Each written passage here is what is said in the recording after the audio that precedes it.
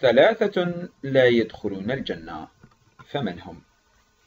الرواية الصحيحة التي وردت عن النبي صلى الله عليه وسلم في الثلاثة الذين لا يدخلون الجنة هي رواية سلمان الفارسي رضي الله عنه والتي صححها الألباني في تصحيح الترغيب يقول فيها النبي صلى الله عليه وسلم ثلاثة لا يدخلون الجنة الشيخ الزاني والإمام الكذاب والعائل المزهو وكان النبي صلى الله عليه وسلم يحذر أصحابه من الأعمال القبيحة والأفعال السيئة التي تؤدي بأصحابها في النار. ومن هذه الأفعال السيئة ذكر النبي صلى الله عليه وسلم ثلاثة أصناف وهم الشيخ الزاني والإمام الكاذب والعائل المزهو.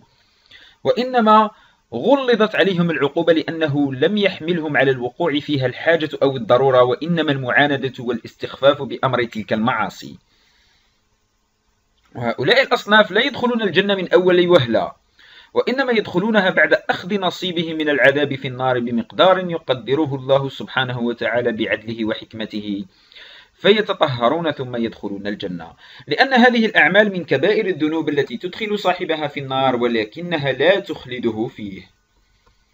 ولا يسمى مرتكب هذه المعاصي كافرا إذا كان موحدا لله تعالى وإنما هو مسلم عاص مرتكب لكبيرة والمعاصي المذكورة في الحديث من أكبر الكبائر فيدخل فاعلها النار ويتطهر ثم يدخل الجنة. وسنعرض في هذا الفيديو شرحا مفصلا لهؤلاء الأصناف الثلاثة. أولا الشيخ الزاني.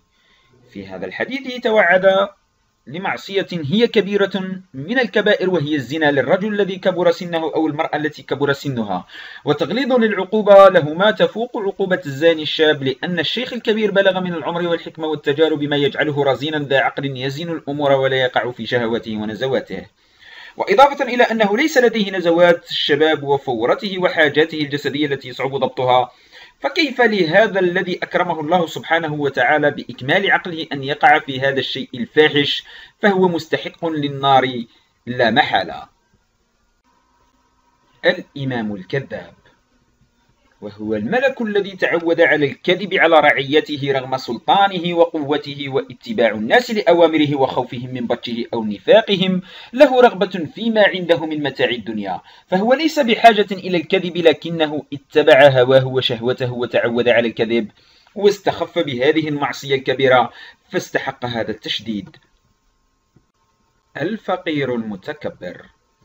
ولفظ الحديث العائل المزهو وهو الفقير الذي عدم المال وأسباب التكبر والخيلاء على الناس فليس من حاجة تدعوه إلى التكبر وليس له من المؤهلات غير حاجة في نفسه. والتكبر مذموم على كل حال ومقياسه دقيق فيقاس بالذر. فقد ثبت عبد الله بن مسعود رضي الله عنه عن النبي صلى الله عليه وسلم أنه قال لا يدخل الجنة من كان في قلبه مثقال ذرة من كبر.